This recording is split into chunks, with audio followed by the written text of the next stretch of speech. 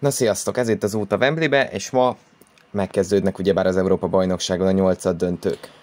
A nyolcad döntőkről tegnap a, a tegnapi live-ban beszéltem egy kicsit, sőt egy órán keresztül, úgyhogy ezekről most ma annyira nem lenne szó, inkább egy top listát terveztem a mai napra, ahol az Európa bajnokságok történetének 10 legjobb egyenes késéses meccsét gyűjtöttem össze, holnap pedig majd a magyar válogatottnak az eddigi összes Európa bajnokságát fel fogjuk idézni, úgyhogy ezek lesznek a programok, illetve a holnapi vagy a mai nap során pedig elérhető lesz itt Youtube-on is a tegnapi live terveim, terveim szerint, úgyhogy megint csak egy mozgalmas hétvége vár ránk. Úgyhogy jöjjön a lista, természetesen joggal tettétek fel azt a kérdést, hogy miért nem a 10 legjobb 8 döntő az EB-n, de aki nem tudná, lehet kicsit meglepő lesz az információ. A ma este Olaszország Ausztria lesz majd az EB történtének 10.-8. döntője, úgyhogy nagyon nem lett volna mit válogatni, hiszen ugye az EB-k, EB-ken amióta van 24 csapat, azóta vannak 8 döntők, és ez csak 2016-ban volt először, úgyhogy ez az oka ennek. Na de, nézzük ezt a listát most. Tizedik helyezett a 2016-as Európa-bajnokság 8 döntője, Anglia-Izland 1-2. Az izlandi válogatott óriási meglepetésre jutott ki az Európa-bajnokságra, és még nagyobb meglepetésre jutott tovább a csoportjából, ahol aztán azt az angol válogatottat találta magával szembe, amely botladozott a csoportkörben, de így is nagy tetre készült az Európa-bajnokságon. A mérkőzés pont ennek a forgatókönyvnek megfelelően indult, hiszen már a negyedik percben megszerezte a vezetést Anglia Wayne Rooney büntetőjével, utána viszont kisebb hidegyzuhanyként már a hatodik percben Sigurdsson góljával egalizáltak az izlandiak. Ami még nagyobb meglepetés volt, Köben Sigtorsson góljával a 18. percben Izland fordított, és ezt az eredményt képes volt megtartani egészen a mérkőzés utolsó másodpercéig, 2-1-re legyőzte Izland Angliát, és ezzel kiejtette a nyolcad döntőben az angol válogatottat, amelynek talán az egyik legnagyobb lamája volt ez nagy tornán. Eközben az izlandiak óriási sporttörténelmi tettet hajtottak végre. 9. helyen a német válogatott Görögország elleni 6 gólos mérkőzése a 2012-es EB negyed döntőjében. Az esélyeknek megfelelően kezdte Németország ezt a mérkőzést, és Filip Lám góljával a 39. percben előnyhöz is jutott a Nacionál elf, és 1-0 volt az első félidő. Ezt követően Samarász góljával némi meglepetésre kiegyenlített Görögország a Gdanszki estében, majd utána Kedira rögtön két percre rá visszaszerezte a vezetést. Ezután betalált Klóze és Royce is lezárva ezzel a találkozót, ellenben még volt a görögöknek egy szépség tapaszuk, Szálpingidis büntetőből volt eredményes, így végül 4-2-re nyertek a németek, és egy 6 gólos negyed döntőben jutottak végül tovább, ahol aztán a későbbi döntős Olaszországgal szemben elbúcsúztak a lengyel-ukrán tornától. 8. helyen Wales Belgium 3-1. A Velsziek óriási meglepetésre történetük első Európa-bajnokságán 2016-ban egészen a negyed döntőig meneteltek, ahol aztán a, fav- a favorit Belgium ellen nem sok esélyt jósoltak már a Velszieknek. Ezt a mérkőzést egyébként újra vetítettük szerdán a Twitch csatornánkon, úgyhogy még újra is nézhető. A mérkőzésen viszont Regyen Angolan óriási bomba góljával Belgium papírformaszerűen meg is szerezte a vezetést. Ezt követően azonban valami megtört a belgáknál, és Ashley Williams fejesével egalizálni tudtak a velsziek. A második félőt rögtön egy góllal kezdte Vels, Hal Robson Kanu parádésen fordult be a 16 belül, és talált be Kurto a hálójába, ezzel, ezzel már Velsznél volt az előny. Hiába mozgósítottak nagy erőket azonban a belgák az egyenlítés érdekében. A csereként Bálószem Vaux is betalált, ezzel Velsz 3-1-re kiütötte Belgiumot, és óriási szenzációként bejutott az EB elődöntőjébe. Hetedik, Franciaország Portugália 3-2. Az 1984-es Európa-bajnokság elődöntőjében a házigazda francia válogatott játszhatott Portugáliával, méghozzá nem is akármilyen mérkőzés kerekedett ki ebből a rangadóból. Domergi góljával a francia válogatott szerezte meg a vezetést, amire csak a 74. percben jött a válasz, Rui Jordao volt eredményes. A rendes játékidő egy 1 zárult, így jöhetett a hosszabbítás, ahol Uri Jordá újra lecsapott, így most már Portugáliánál volt az előny. Ellenben Domergének is volt erre válasz, és a 114. percben a franciák gól felelőse is duplázott, 2-2 volt az állás. És a 119. percben jött Michel Platini, és az utolsó előtti percben megnyerte a mérkőzést Franciaországnak, és ezzel a franciák jutottak az EB döntőjébe, ahol aztán a spanyolokat is legyőzve nyerték meg első Európa bajnoki címüket. Hatodik, Hollandia-Dánia 2-2.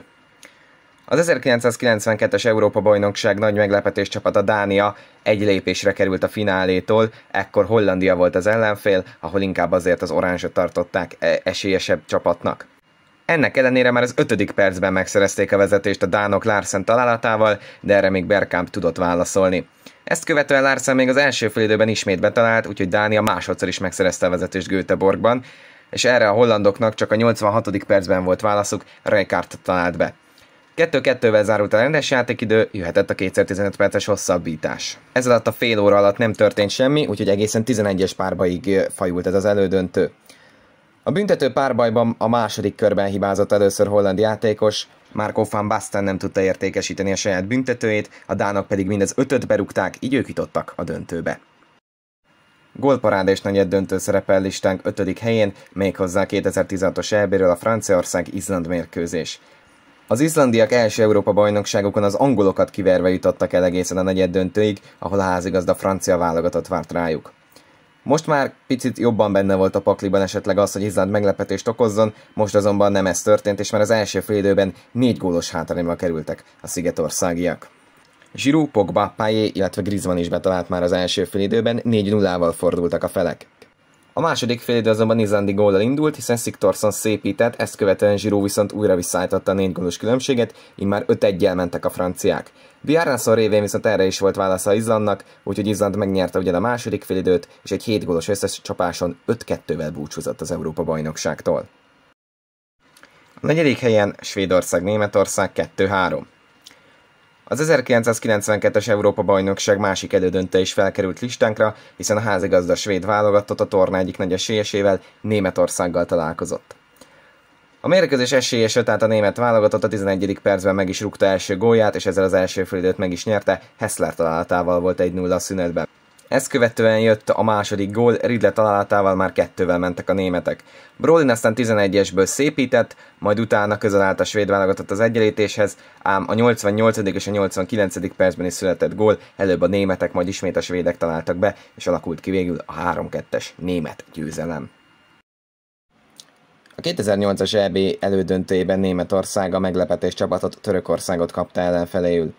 Ekkor Öglür góljával még nagyobb meglepetésre Bázelben a török válogatott szerzett vezetést, amire Bastian Schweinsteiger válaszolt, így lett egy-egy a mérkőzés. A második félidőben Klóza 79. percben úgy nézett ki, hogy megnyeri ezt a mérkőzést a németeknek, ám semminek ismételten volt válasza, és ezúttal már 2-2 volt az eredményjelző. Mikor már mindenki készült lélekben a 2015 perces hosszabbításra, lecsapott a 90. percben Filip Lám, és 3-2-re megnyerték a né- németek ezt a mérkőzést, így a törökök végül bronzérmesként zártak, hiszen ekkor már nem volt bronzmérkőzés, és az oroszokkal nem kellett megmérkőzniük, a németek viszont elbukták aztán az Európa-bajnokság döntőjét.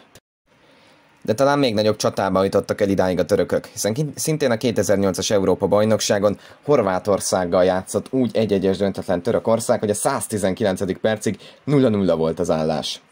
Ekkor Klasnics talált be, és ő szerezte meg a vezetést Horvátországnak, szinte kiejtve ezzel már a törököket.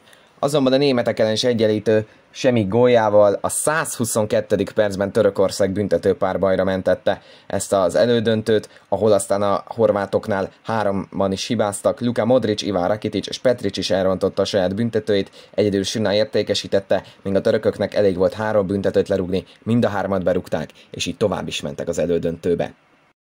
És egyértelműen az első helyzet a listánkon Franciaország, Jugoszlávia 4-5. Érdekes, hogy a labdarúgó Európa-bajnokságok történetében az első EB óta nem volt ilyen gólgazdag és ilyen izgalmas mérkőzés, nemhogy az egyenes kieséses szakaszban. Ekkor mindössze csak négy csapat vett részt az EB-ken, rögtön az elődöntőkkel indult a torna, ahol a francia válogatott hazai pályán Párizsban mutatkozhatott be Jugoszlávia ellen. A jugoszlávok a 11. percben szerezték meg a mérkőzés első gólját, ekkor Galic talált be.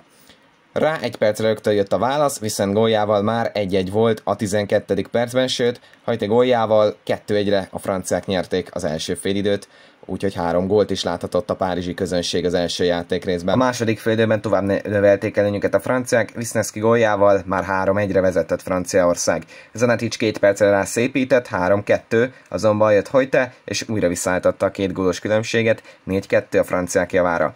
Knez aztán megkezdte a jugoszlávok felzárkózását, 4-3, majd jött Jankovic, aki a meccs hőse volt, a 78. és a 79. percben is lecsapott, így tehát Jugoszlávia két gólos hátrányból megfordította a mérkőzést, és végül 5-4-re legyőzte a házigazda Franciaországot, hogy aztán döntőzhessen az Európa bajnokságon, ezt aztán az oroszokkal, azaz a szovjetekkel szemben elveszítette.